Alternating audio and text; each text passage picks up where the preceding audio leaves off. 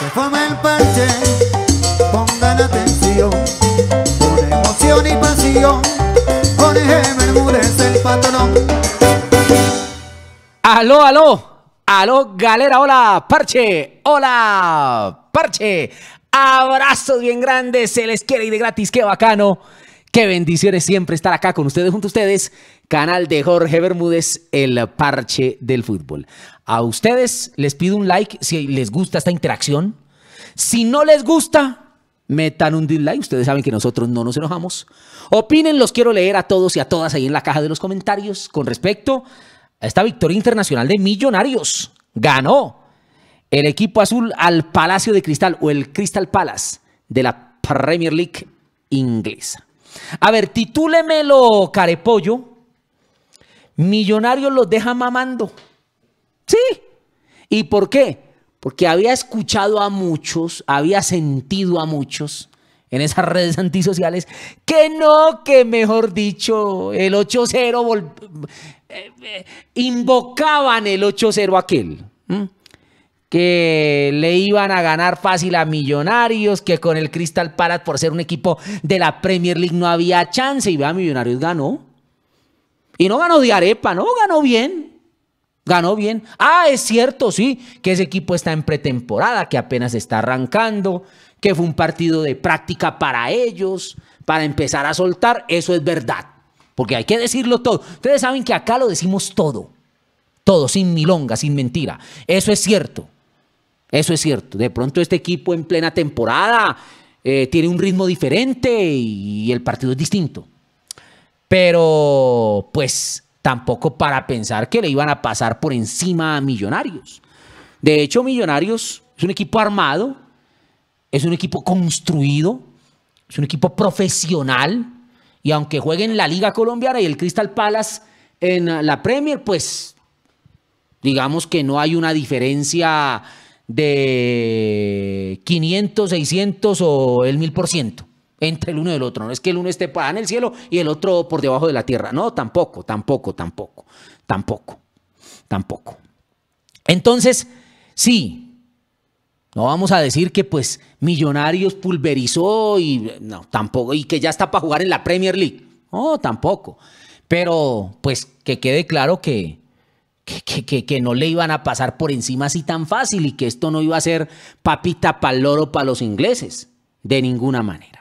Millonario, y por eso decimos que los dejó mamando a muchos que estaban esperando que lo golearan, pues terminó ganando y los dejó, los dejó como el ternero, mamando.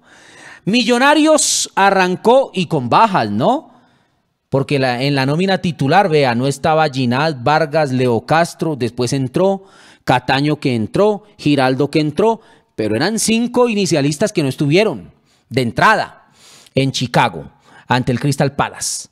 Arrancó con Montero en la portería, Perlaza, Moreno Paz, Arias y Asprila atrás, Larry Pereira en el doble cinco, Guerra y Jader Valencia abiertos, Macalister Silva detrás del punta y Fernando Uribe de punta. Después ingresó el Chacho Leo Castro, Cataño ya en el segundo tiempo, Giraldo, Victoria, en fin. Eh, Millonarios salió a jugar con prudencia, sin locura, sin exhibicionismo, sin emotividad salió a jugar el partido con seriedad, eh, entendiendo que el rival no iba a imponer mucho ritmo, porque está apenas soltando los músculos, el equipo del Crystal Palace. Entonces lo importante era tener controlado el partido, controlado el partido. Que no se le fuera a salir de control, que le hicieran uno y después se viniera el segundo y se confunde todo el mundo y puede ser feo. No, no, no, había que controlar. Entonces, eh, sin balón, una estructura 4-4-1-1, juntos, cercanos, un equipo sólido, serio, cooperativo y con balón asegurándola. Eso es importante, asegurándola. Y así logró tener bajo control el partido, no dominar el partido, que es una cosa muy distinta. No, no lo dominaba, no subyugaba a su adversario, pero tampoco lo sometían. No sufría, tenía el juego bajo control el juego bajo control. Y así se suscitó gran parte del match. Al minuto 64 se pone en ventaja.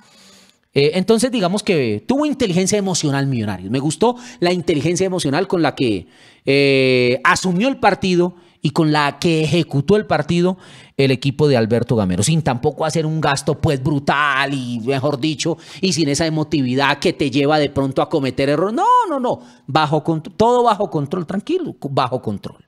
Entendemos que estos no, no van a ir al 100 porque no pueden, están apenas arrancando, entonces nosotros también, listo.